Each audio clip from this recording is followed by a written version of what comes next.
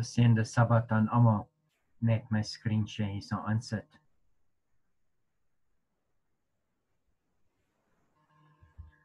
Vandag wil ons kyk na die woord seismiese en wat ons daaruit kan leer.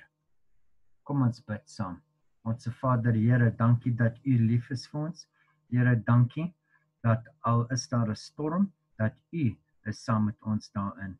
Here, lei ons met U Heilige Gees in Jesus se naam. Amen. Die skriftuurlesing vir vandag is Matteus 8 vers 24. Skielik het daar 'n ewige storm op die see losgebars sodat die golwe oor die skei geslaan het, maar Jesus het geslaap. Mag daar sien op die lesing van die Here se woord wees. Voor ons uh terug na die skriftuurlesing toe gaan, wil ek 'n bietjie kyk na aardbewings en die woord aardbewing. En hierdie vers sê vir ons skielik uh kom daar 'n groot aardbewing wat die fondamente van die tronk geskit het. Al die deure van die tronk het onmiddellik oopgegaan en die gevangenes se boeye het losgeraak. Hierdie woord aardbewing hierso is die woord seismos of soos seismic in Engels of seismesiese uh wat te doen het met aardbewings. Okay, so dis waar die woord seismesiese vandaan kom is uit die oorspronklike Grieks. Kom ons kyk nou nog 'n vers wat oor aardbewings praat. En ek het gesien uh toe die lam die 6ste seël oopmaak, daar het 'n groot aardbewing gekom die son het swart geword soos rou klere en die maan het het, het heeltemal soos bloed geword. Hierdie woord hierso groot aardbewing, dit is mega seismos. Okay? En ons weet dat hierdie sesde seël is reeds oopgemaak net vir interessantheidsonthaalwe en die groot aardbewing wat gebeur het was in 1755 op November 1 in Portugal uh hulle noem dit die Lisbon quake. Jy kan dit online gaan opsoek. Ook in Matteus 24 vers 29 weet ons dat die son verduister is op Mei 1987. Jy kan daai datum op internet sit. Uh die maan is bloed ook op dieselfde datum Mei 1987 en sterre het geval uh op November 13 1833. Daar was so baie van hulle wat geval het. Jy kan artikels daaroor gaan lees. Maar die punt wat ons hier uit wil maak is hierdie mega seismos. En nou na ons skriftuurlesing toe en dit sê so skielik het daar 'n ewige storm op die see losgebar sodat die golwe oor die skei geslaan het, maar Jesus het geslaap. Hierdie ewige storm hierso in die geel is weer eens mega seismos. Okay? So hierdie is natuurlik die storie waar Jesus uh in die boot geslaap het en 'n uh, mega storm, 'n mega storm met sismesiese proporsies het opgekom en um en dit was absoluut groot en hulle het hulle geskrik en toe maak hulle hom wakker. nou ons huidige uh, coronavirus stormpie wat ons in wat uh, die planeet 'n bietjie tref op die oomblik. Um is baie groot. Maar daar's 'n vreesfaktor wat besig is om te vorm op die oomblik uh, waar daar dalk 'n groot storm is wat gaan kom. En die vreesfaktor oor die ekonomie is oral op die oomblik. Na die viruspandemie uh, kom die ekonomiese pandemie wat dalk langer gaan aanhou wat ons dalk uh, voorheen gekyk het in horror movies is nou werklikheid van pandemies en al hierdie probleme wat kan uitkom in groot proporsies. Die IMF sê uh die ekonomie sal erger wees as in 1929. Scott Morrison van Australië, die eerste minister sê dat hierdie is die moeilikste ekonomie uh van die Tweede Wêreldoorlog. Uh China groei glo van 1976 af en het 'n handels uh oorskort 'n uh, trade surplus maar Nou het dit glo geval met 80%. So die voorspelling op verskillende webblaaie is dat halfte van die FSA ekonomie gaan wegval en mense het alreeds hulle werk verloor en meer gaan hulle werk verloor. Die FSA se aandelemark het geval al met 30% en party mense sê koop silwer en ander sê koop goud en ander sê koop die dollar of koop pond of koop die Japaneese yen en 'n mens weet nie wat se kant toe moet jy gaan nie. Het hierdie finansiële storm die potensiaal om groter te wees as die coronavirus storm wat ons getref het. Matteus 24 laat weet vir ons dat uh, hierdie probleme uh, was op pad en ons is in die einde van daai. Dalk is daar 'n vreesfaktor met jou. Ek weet toe China uh ingegaan het in hulle tweede lockdown in Henan provinsie, het ek 'n bietjie senuweeagtig geword want hoe lank dit dit gelyk daar was hoop, maar dit lyk op die oomblik asof daar nie hoop is nie en toe het ek self vrees bevange geword. Maar om te vrees is nie 'n manier om te lewe nie en dit is nie 'n opsie en Jesus sê nee. Skielik was daar 'n geweldige aardbewing. 'n Engel van die Here het van die hemel afgekom, na die graf toe gegaan, die klip weggerol en daarop gaan sit. Hierson het Jesus opgestaan na aardbewing van die engel van die Here. Dit was van seismiese proporsies.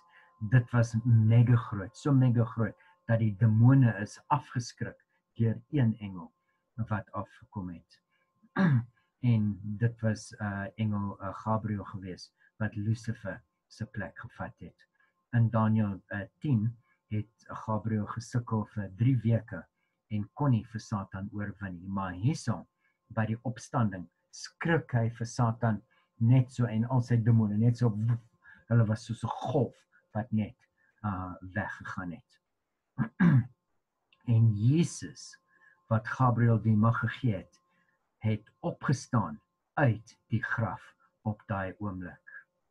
Hy is reg vir enige storm wat ons deur gaan gaan hierdie storme van die coronavirus en finansies is nie die finale storm nie, maar Jesus is reg vir daai storm.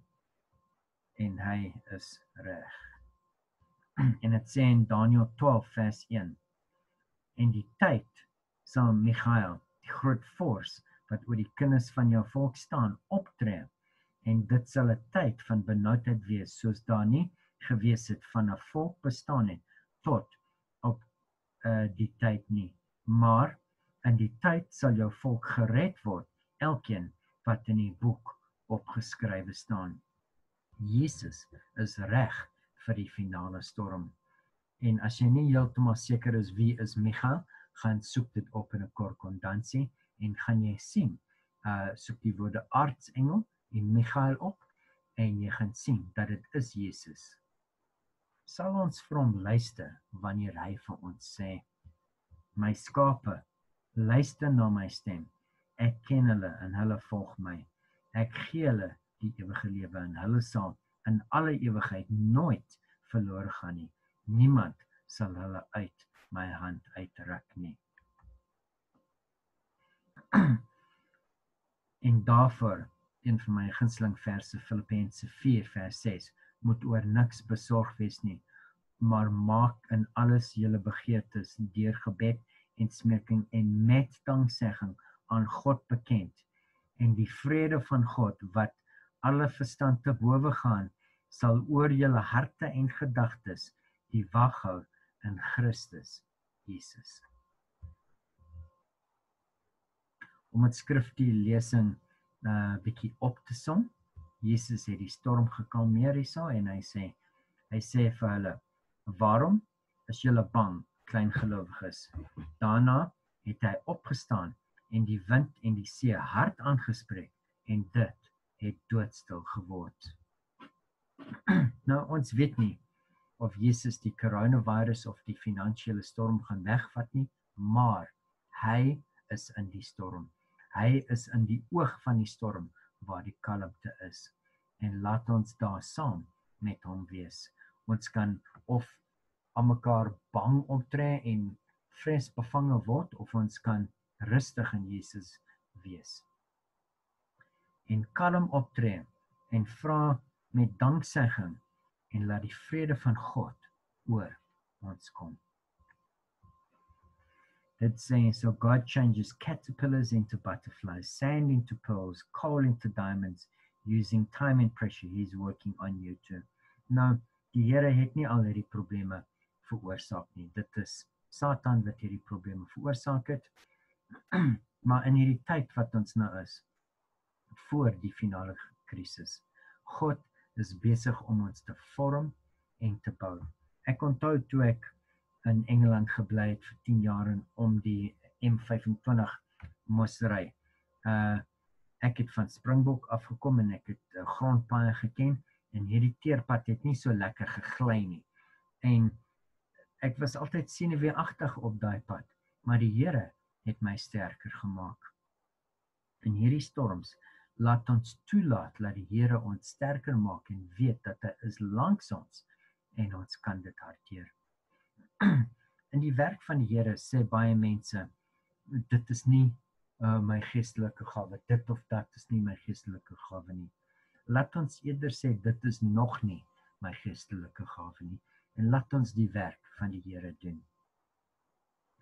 weet jy hoekom val Satan jou aan? Sy aanvalle dui aan dat hy weet dat jy die taak kan voltooi waarvoor jy geskep is. En dit is hoekom hy jou aanvat want hy wil hê dat jy dit nie moet regkry maar hy weet jy kan dit regkry. Anderste sou hy jou net uitgelos het. Maar wie tot die einde volhard sal gered word in die storm en in die woestyn van die lewe sê Jesus bly in my. Hy sê in Johannes 15 vers 4 julle moet in my bly en ek en julle uh loot uh, kan nie uit sy eie vrugte dra as hy nie aan die wingerdstok bly nie. En so julle ook nie as julle nie in my bly nie laat ons in die Here bly en nie bang wees en nie vrees bevange wees in die tyd in die droogte van die weduwee van Sarafat okay gee sy haar laaste olie in meel om Elia te voer. En dit het baie gesê want sy het 'n kind gehad. Dalk sal ons ons buurman moet uithelp en staat maak op die Here. So laat ons ons werk doen in ons gedeeltes waar ons is. U sal 'n standvaste gesindheid in volle vrede bewaar want hulle vertrou op u vertrou op die Here vir ewig want die Here is 'n ewige rots. Ewige rots wat daaruit die ewige water laat kom. Mense, mag daar seën op die uh, woord van die Here wees en mag julle geseën wees in hierdie tyd op die oomblik. Geseënde Sabbat aan almal.